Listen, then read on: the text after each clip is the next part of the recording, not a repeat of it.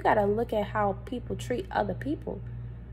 Like, if I'm around somebody and I hear them, like, talking about somebody bad and it's their friend that they're talking about, I'm like, whoa, this is red flag. Hi, family. I'm Marchell Sade, and I have a word for you today. These people be telling on themselves, so it really be up to us to decide, like, hmm, do I want to, you know, keep this person in my life? Or if it is a person in business, it's like you keep it strictly business and you don't want to entertain, you know, those type of relationships because it's like, it's going to eventually rub off on you. Oh, it's a scripture about that. Yes. Listen, what's the scripture? I was just studying. I was just studying about this in the Bible. I'm about to show y'all. Cause me and my cousin, we be doing Bible study. All right, y'all, look, it's in the Bible. Look. Don't befriend angry people or associate with hot-tempered people or you will learn to be like them and endanger your soul. So that goes to show you that whoever you be around, you will pick up on their traits. See, okay, so if you're anything like me, I'm an actress. So I tend to pick up on people's traits and not even intentionally know that I'm doing that.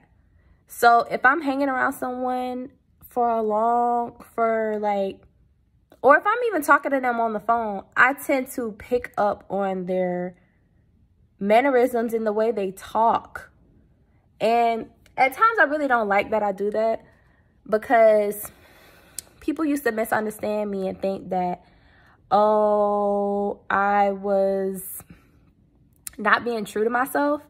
But it's literally a gift that I have. Like if I study someone's mannerisms, I can imitate it. So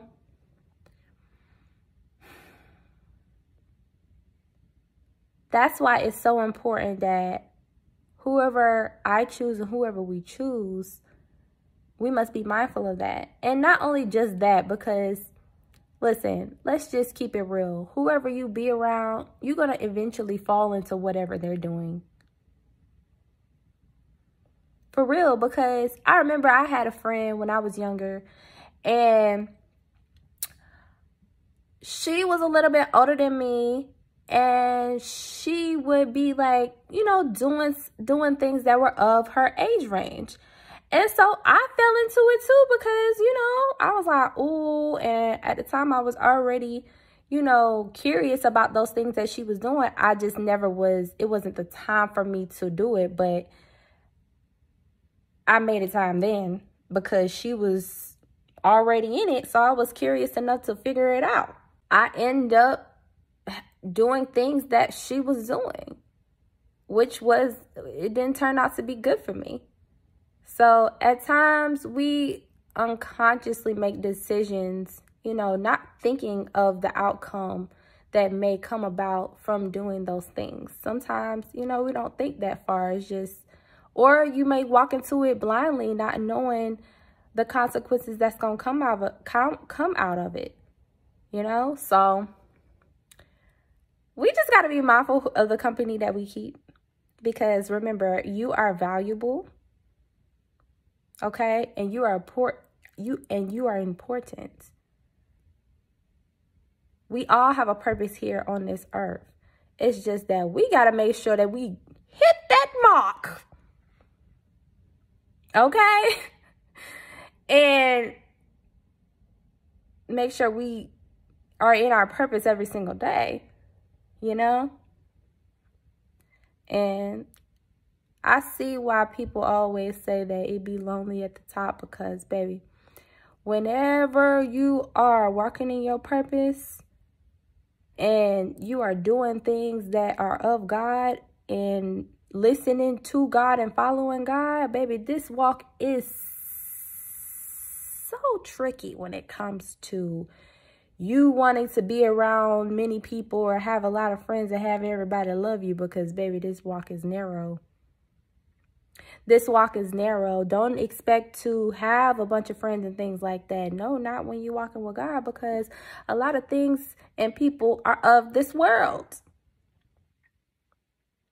So don't feel any type of way if, you know, you're pivoting in life and you're evolving and you're not wanting to do those type of things because God will align you with your tribe and your friends. Don't feel like you have to be of this world just to have friends. Oh, absolutely not. No, you are way more strong and more powerful than that. You don't fall weak to the enemy just because of whatever it is. No. It's okay. You can still be yourself and be following the word of God. You can still be yourself. It's just that some things you have to break off of your life. Like,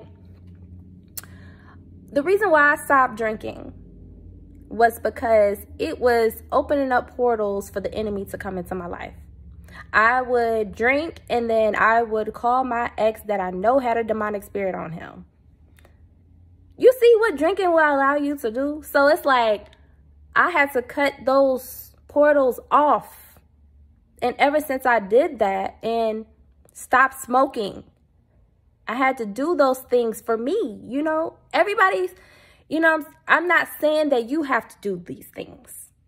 I'm just allowing you to know what allowed me to build my relationship with God and what helped me to get closer to God.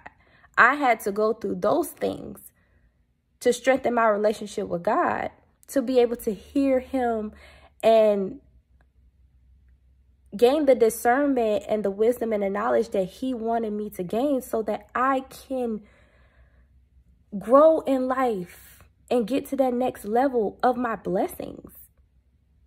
I was willing to sacrifice because I said, you know what? This life that I'm living now that's in my own strength, I am not receiving what I want, the results that I want. And it ends today. Okay? And sometimes you just got to keep it real with yourself and you got to put your foot down like, listen, Shell, what we doing, girl? What we doing, homeboy? You know what I'm saying? all right you know i'll be on here talking to y'all for so long because baby i got something to say okay so i love y'all. And just know if you're feeling anything call on god. God i'm struggling in this area. Help me. And I know some people be in the comments like, oh, you're not supposed to ask God, you know, for this and that. Listen, we got a bond relationship. You think I ain't finna call on him? nah, but I'm gonna have to learn more about that, y'all. When y'all talking about don't call on God, I don't know. I'm gonna have to learn more about that. You know, I'm still learning, but I am open to sharing the wisdom and the knowledge that I am gaining from God with you guys. Okay? So I'm not perfect. Don't never think that. I am still learning and growing.